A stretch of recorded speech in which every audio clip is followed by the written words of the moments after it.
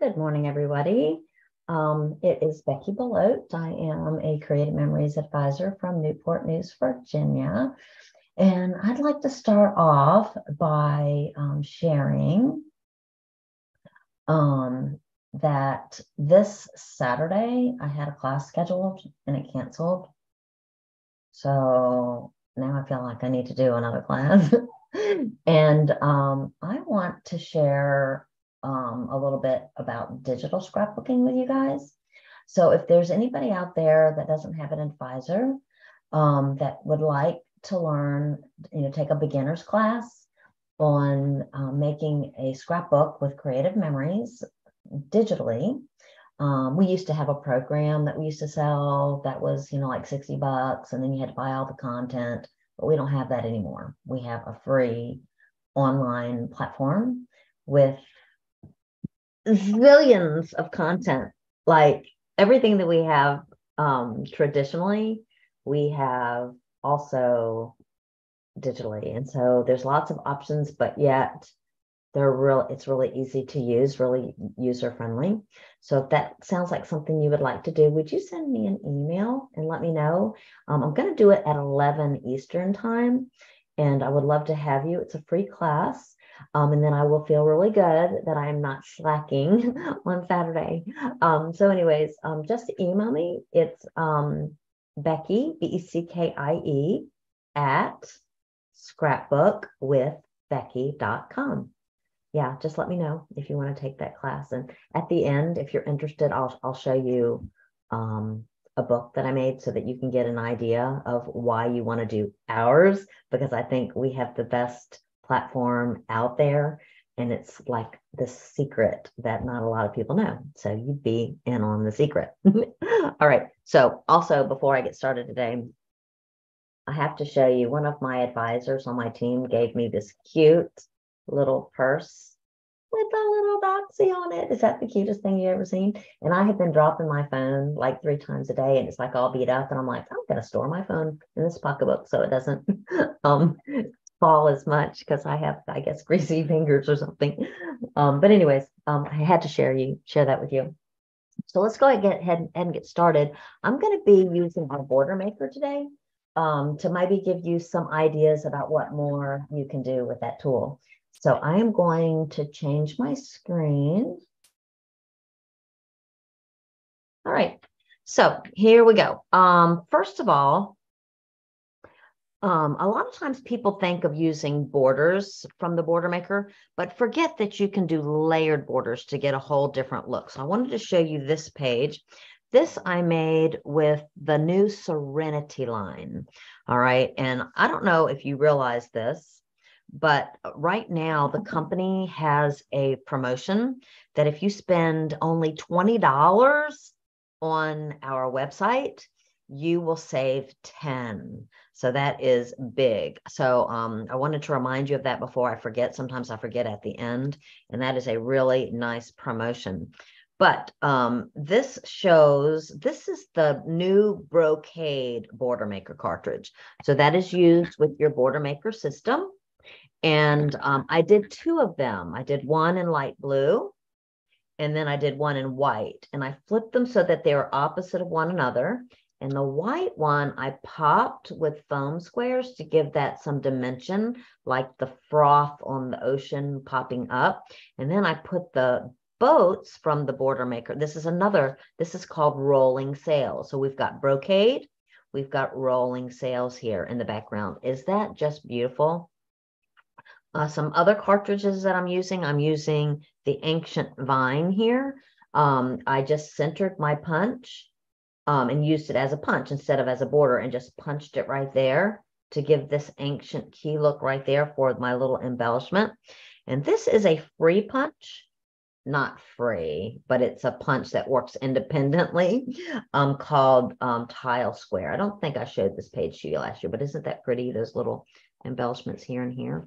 All right. But the whole point is think layering with your borders and wow, it's amazing. But what I want to focus on more today is on mixing your border maker cartridges to always be in the on the lookout for um, border maker cartridges that will look nice together. Um, I do this all the time where I just grab a scrap and I grab some punches to see what looks I can get out of them. So, um, you know, if you're like, how do you think of that? Well, I don't think of it. I just try things. All right. And we we have so many released lately that I thought I would play and show you what I came up with. So I'm going to show you, this is Flourish Vine. It's one of my favorites. And um, so I put my paper in the tray and then I fold it back. It clips there on the bottom. This is a magnetic little toolbar that's holding the paper in place, the proper amount sticking out. All right. Then you put your border maker cartridge in so that the creative memories goes in and these knobby things hang out. All right. Um, so I'm going to put the vine part here and here and here and here. So you don't have to go all the way down. You can do partials. And then I'm going to change my cartridge to the, it's a poinsettia, which if you do it in red and whites, it really looks like a poinsettia. But if you do it in other colors, it looks like a really pretty flower. So I thought the flower with the vine would be a beautiful combination. Do you like that? Yes, Beckie, I love that. Great, thank you. All right. So let me show you some other combinations with some um, other punches that we have. I'm showing you all ones that I believe you can still get so that you don't get angry at me. All right. And plus you can get $10 off one of these border punches if you don't have them, as long as you spend 20 or more. All right, so let's put a color down so that we can see better.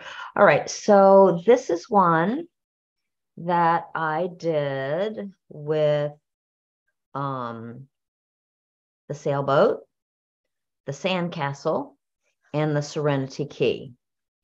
All right, so just a, a kind of a little grouping um, that I think is kind of fun. I then came and swooped down with my decorative trimmer um, to cut that. If you don't have that tool, very simple. It just cuts um, either a wave, which is what I did here. Actually, this is a swell and this is a wave. So it does two different cuts. All right, push that one kind of out of out of the way. Um, this one is also, um, this is a combination of ancient key with the sailboat in the middle. So you can kind of play around where you put them. Again, I, I did the swell here to give this little water feel right there. This one is your ancient key with your circle. I really like this pattern, don't you? This one is your ancient key with your zebra stripe. The, the possibilities, girls, are endless. You can see how I'm doing every other one here and here. And then this one and this one, I'm doing, you know, different patterns. This one is the new brocade chain with the ancient key. I really dig this look as well. Super pretty. And this one, um, this one was a little trickier. Um, this was the Sunshine Arch with Ancient Key. And after I did that border, and you know what it looks right here? It almost to me looks like um, buildings on either side with a bridge in the middle, doesn't it? Um, but after I did that side, I cut, cut, cut it off at two inches and then I flipped my border maker cartridge upside down because it's too small to work with the border maker without um, using post-its to hold it down and just kind of did it upside down the opposite. So bam, bam, and then I changed the cartridge and did the other half. So this basically, you do the first cut all the way across, cut it off at two inches, take your piece that's uncut, flip it upside down so that you can see what you're cutting and just do the opposite. Make sense? All right, so let me show you some of these in action.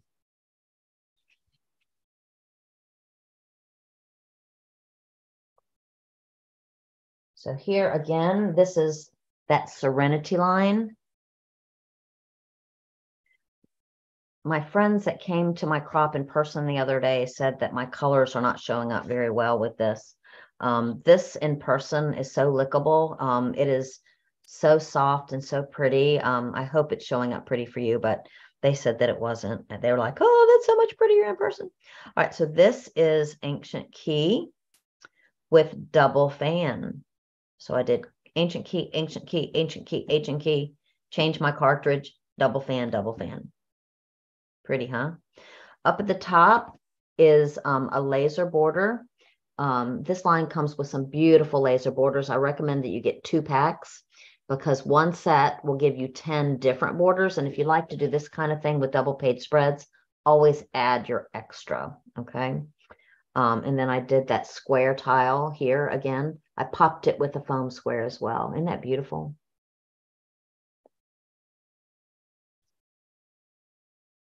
This is a mat from the mat pack. Isn't that nice with that little pattern down there? It's really pretty. All right, this one I did with, I feel like I don't have enough space to put all my stuff. Can y'all relate to that? I bet you can. All right, doesn't matter how much space you have, we use it up as scrapbookers, don't we? So this is a combination of, you know, I'm pretty confident that this is um, totally tonal island waters, this piece right here, totally tonal island waters. And um, I believe this print right here probably came, came from Tropic Time, Fast to Fab. I think that little pattern was from that, but it's just a, a beige. All right, so let's look a little close what I did here. I did sandcastles. I did the sunshine arch. And then I did a couple punches with the rolling sail um, sailboats there.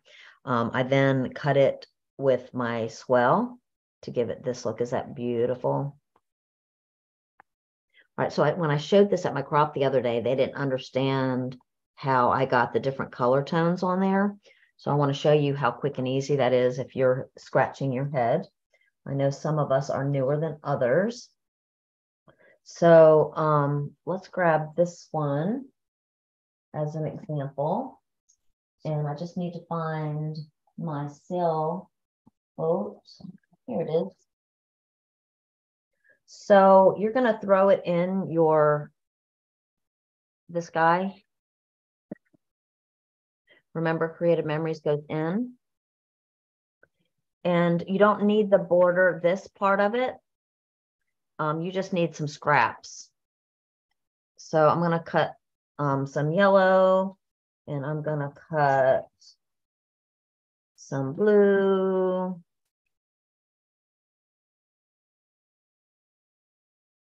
All right, and then what I'm going to do is trim my little sailboats off. This is a great job for our little um our little micro scissors since it's such a small cut. And what I I mean, you can cut the whole sailboat out or just the sail. It's kind of up to you. Um, I'm going to cut off just the sail for the green. I'm going to cut two of those off, just the sail. And then I'm going to do it with the yellow. But the boat would be cute too, actually. All right. Then what I'm going to do is I'm going to grab my repo. Oh, I bet you my repo. Oh, I had a card class last night and I knew that I had my repo at the card class, but I just remembered I re I put it back. All right. So what I'm going to do now is go. Oh my gosh, I lost my train of thought. Are y'all like so laughing at me? This was supposed to not be cut off. I was supposed to cut off my light blue one. I am a hoot, aren't I? All right. Well, anyways. um so don't cut your border one off. You're just cutting these off. I'm going to cut some blue now. And we're just going to pretend I didn't do that. Don't don't tell my friends and family. All right, so what I'm going to do, this is so hysterical. I don't know why y'all put up with me. All right, so I'm just going to put some adhesive on top, and then I'm going to put my little sails on top. Like that. Where's my yellow ones? Mm.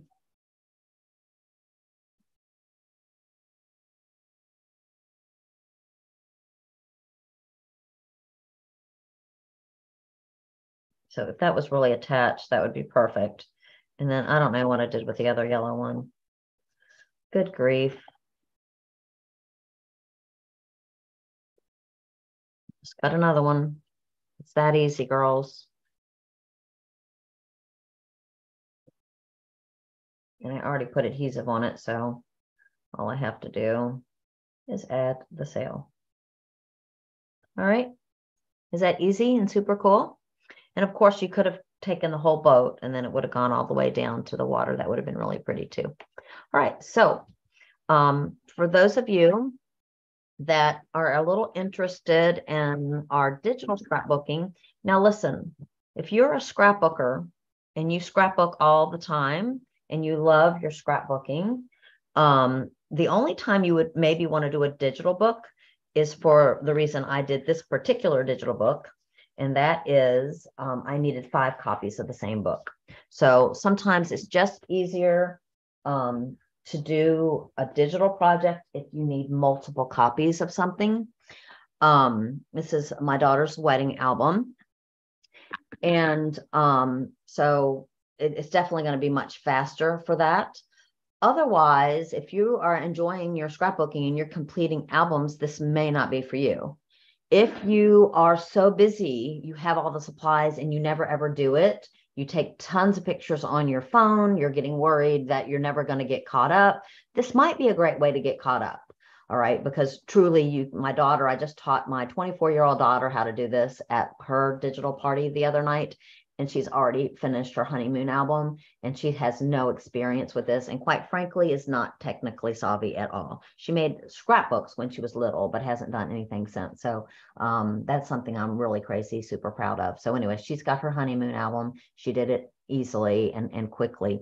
All right so let me tell you the benefits of our books. These are real books you you guys. These are real um, book cloth scrapbook albums where you can design the cover or you can do one that they gave you and just put a put a picture in a frame you know? Um, so you don't have to be creative but i will teach you all the tricks of the trade. Um, you can you know have your spine already done. You can have you know a different back. You can do whatever you want. So it is a real scrapbook. And um, um it has the versatility to um, have lots of different size photos. So different size photos are really fun. Even your traditional scrapbookers, you should occasionally, when you see a photo that wows you, go ahead and spend the extra bucks and get the five by seven, get the eight by 10, because it's going to have a wow factor. But with digital, of course, the photos come screen printed already on the page like this. And so it gives you the ability, sorry about the page protectors. I did put page protectors on this book. Um, I do believe that they help keep it safe. And I did use a lot of um, peekaboo pockets in this. So for those of you that are a traditional scrapbooker or, or not, this is a traditional product that you come in and put on afterwards that'll allow you to put even more pictures in your album. I don't know about you, but my daughter's wedding, I mean, she had just thousands of pictures and it was really hard to narrow them down. So that gave me a little extra, extra. So here's like a little embellishment, this little bride gown here. Um, it, it and, and the little flower up here is an embellishment. All right. But what I wanted to show you is, is how you can do irregular shape pictures like this one, a nice, um, you know, you can't even print that size picture, you know, so that's kind of cool. Um, another um, type that's hard to print is your, um, like this, this size, you know. Um, so you can do a lot of that. Um, isn't it beautiful? you can write, you know, you can have it journal before you get it home. These are embellishments that um, were part of the, the kit that I, I worked with. I use work the same kit, but you don't have to work with the same kit. You can, you know, I keep this one I love. doesn't that just take your breath away when it's 12 by 12 like that? So you can make the whole page. Um, another cool thing that I do want to point out um, is you can, oh, well, this is a really chunky album, got lots of pictures, but you can mix in, you know, like these were family pictures that were just kind of repeti- repetitious, right? You know, and so this is an actual scrapbooking product that I put in to actually insert some of the candid, not candids, but some of the repetitious photos quickly without even having to think about it this way. All right. Um, what else do I want to show you? Um, love this one of them dancing. Um, let's go back to the back. All right. So this page right here, these were photos that I got from somebody else um, from the rehearsal dinner. And so th- I'd never had those digitally. So I made a traditional page. All right. Um, I made a traditional page. I included the actual invitation from the the uh, rehearsal dinner. Um, here I included actual um, invitation from the wedding, actual you know stuff that I saved from the wedding, her beverage napkins. Um, so I didn't have to take a picture of it, include it. I could include the real thing because this was a digital book. You know it's it's sturdy. It's not going to tear because i've added that to flimsy pages. And then we also have um peekaboo pockets. Like this is her invitation not invitation what do you call it? The program for the wedding that i put in with a six by 12 peekaboo, peekaboo pocket um, this right here is a actual real embellishment that from traditional that i added later so for those of you that do like traditional and want to use up some of your stuff you can you can use up some of your stuff in these as well um, but it's just a it's a real fast process um, that I think you'll like. So if that appeals to you, um, again, simply send me an email at Beckie. Let's see, it's Beckie B E C K I E at scrapbookwithbeckie.com. And would you please, in the subject line, put digital class? Um, and if you, um, again, if you don't have an advisor and you want to take a digital class, but you can't do it at 11, please let me know. Um, so this is this Saturday, 11 Eastern time, um, because I can fit fit it in at another time. This is something that I think is really fun, underutilized product that we have that people don't realize what a what a bargain it is um, to be able to do albums like this um, quickly without having to make a big investment in supplies. Um, so anyways, um, thank you for watching. Don't forget um, to go online um, and shop with your advisor if it's not me. and if you don't have an advisor, I would love for you to shop with me. So you would go to, let me change this. You would go to uh, www.creativememories.com forward slash user forward slash and then type in my name B E C K I E B E L O T. Thanks for watching, guys. Bye.